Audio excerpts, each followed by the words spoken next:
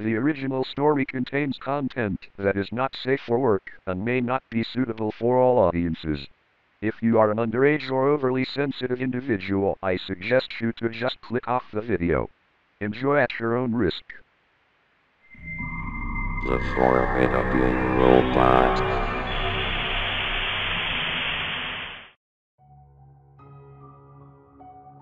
Have you ever seen someone die on camera? A snuff film is a recording of the actual murder of any human being that is subsequently passed around for entertainment purposes.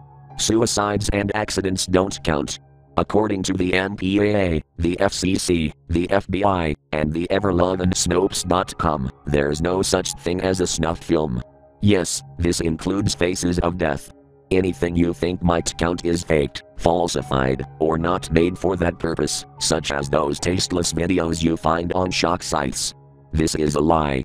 There are, as best as anyone can tell, between 30 to 40 snuff films floating around out there.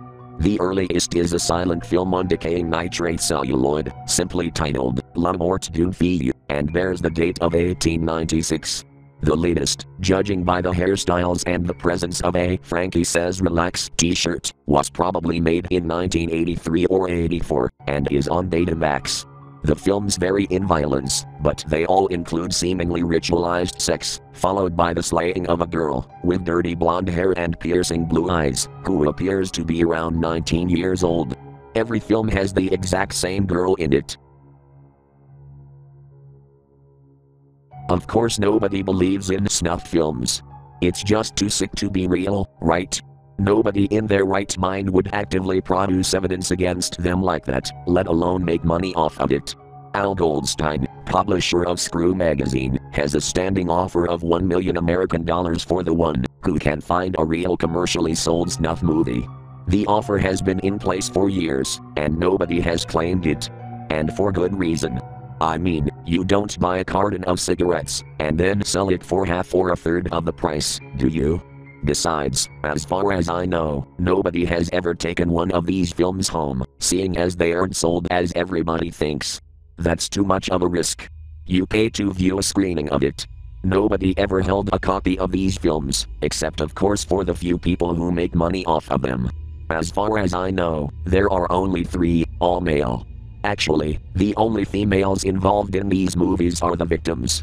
Not all movies contain rape or sex of any kind, but it's not uncommon, especially with the few starring children as victims. This all may sound a bit odd to a lot of you, but of course it does. It involves something that just can't exist, right? It is though very hard to get to attend one of these screenings. You need to be invited, and everyone who's ever been invited has been invited by personal mail, that is not via the postal office.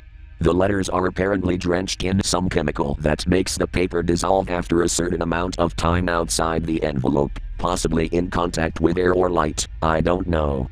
All I know is that these people are clever, and they take their measures. If they knew who I am, they'd surely kill me, maybe even make me into a movie star. Then I'd be shown in their little cinema. It's quite a dark place, seeing as the only lights are candles, situated around the screening room. The entrance to the snuff cinema is that of a decrepit old factory, reminiscent of a slaughterhouse. The letter would have short instructions as how to get to the screening room. The projector itself, apparently hooked to a recently bought DVD player, is powered by a car battery. I've been told they used to use a small gas engine back in the 30s.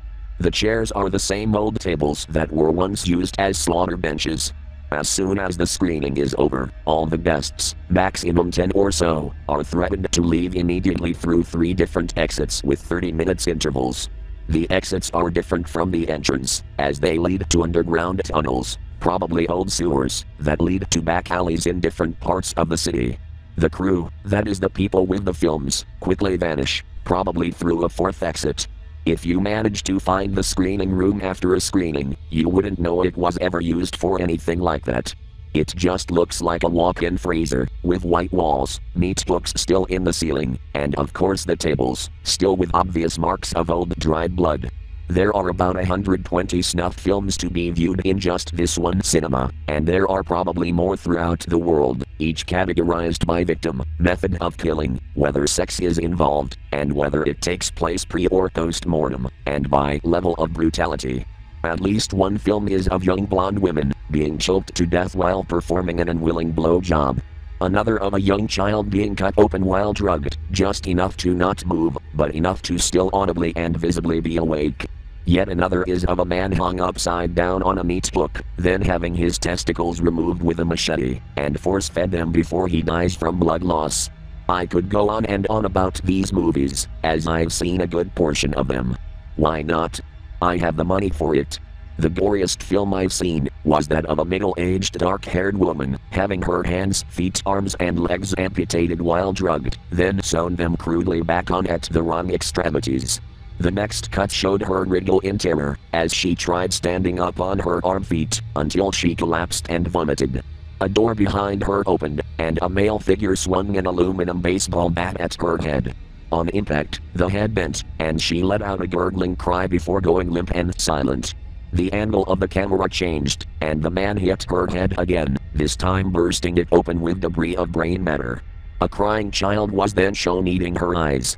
It was the most satisfying movie I've ever made.